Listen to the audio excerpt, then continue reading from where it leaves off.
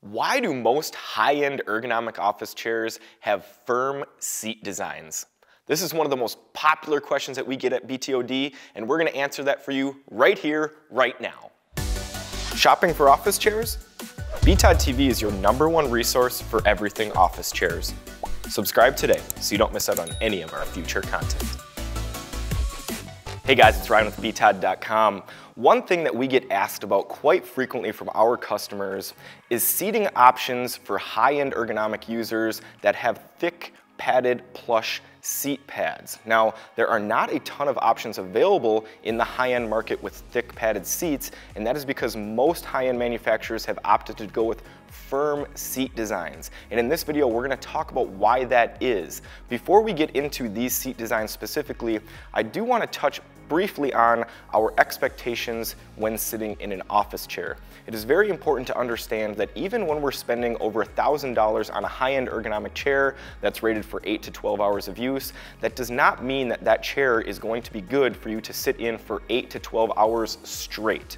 No chair is designed to be comfortable for that amount of time. You are going to need to take breaks, get up, move around, allow your muscles to stretch, get that blood flow moving so that you can be healthier and more comfortable throughout the day. I think one way that we can really highlight this point is thinking about your car seat and how long you can sit in that seat before you're uncomfortable and need a break. Now, a car seat is gonna be more comfortable than most office chairs that you're going to be able to find, and I would say that most of you need a break after two to three hours of riding in your car. For me personally, after about three hours sitting in my car seat, I need to get out, stretch, take a little break. So think about that when choosing your office chair and make sure that you set your expectations correctly for what the office chair can actually provide. Make sure that you're taking adequate breaks so that the chair is comfortable for you for those long stretches.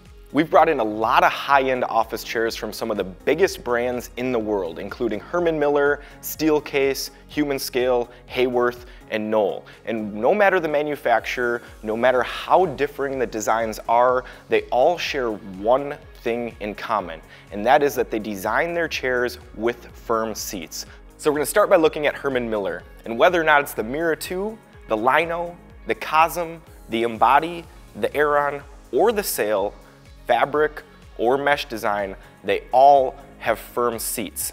Same with Steelcase. Whether it's the Leap, the Gesture, the Amia, the Think, the Series 2, or the Series 1, they all have firm seat designs. The same is gonna hold true for Humanscale. When we look at the Freedom, the Liberty, the Diffrient World, and the Diffrient Smart, the same thing is true for all four of these chairs. They have thin seat pads with firm seat designs. And finally, when we look at the Knoll Regeneration and the Haworth Fern, both of these models also have firm seats.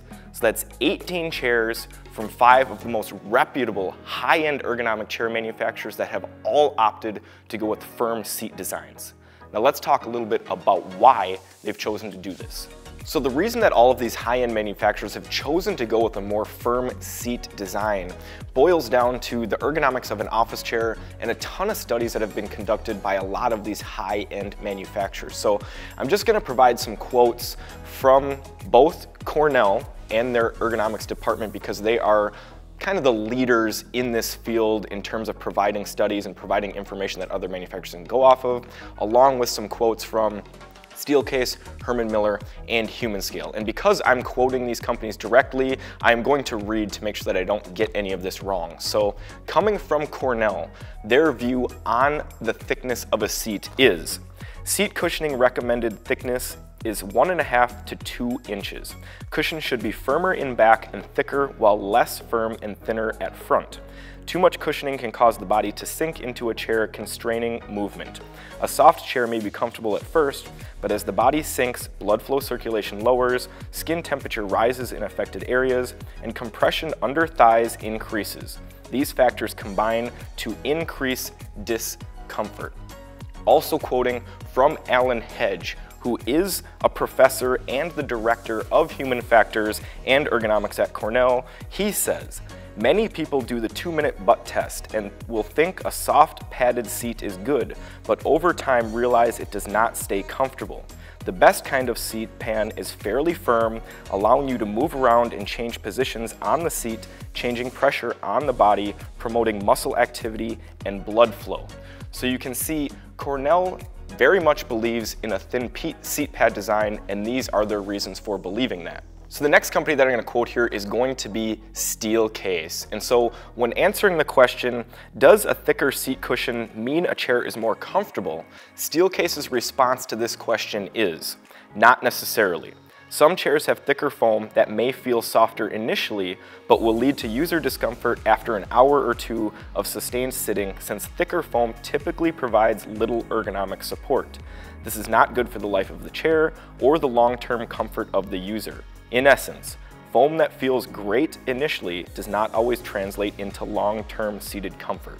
So you can see Steelcase shares very similar thoughts to those at Cornell and Alan Hedge, which is why they have thin or firm seat pad designs.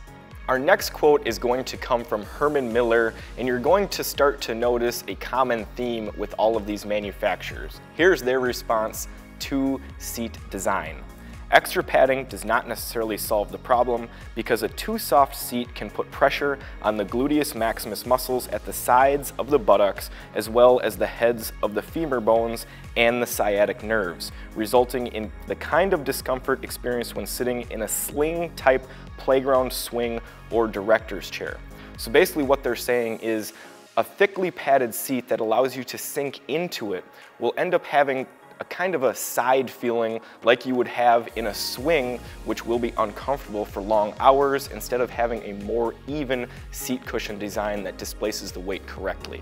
And the last high-end chair manufacturer that we're gonna quote here today is going to be Humanscale, and specifically from their founder and CEO, Robert King. He was quoted in a video saying, a soft seat cushion is really comfortable for a short period of time, but uncomfortable for long periods of time. So as you can see from the three manufacturers that we've quoted here, plus the ergonomics department at Cornell, the theory behind these seat designs is that they're simply more ergonomic and more comfortable over the long run. And whether it's a mesh seat, a padded seat, a fabric seat, whatever it is and whatever design the chair has, most of these companies will have a firm seat to go with it. So just to kind of summarize the video here a little bit, firm seats are going to be better for the long haul. If you are actually going to be using your chair for that six to eight hours a day mark, then you probably want to look more into a seat that is going to be on the firm side.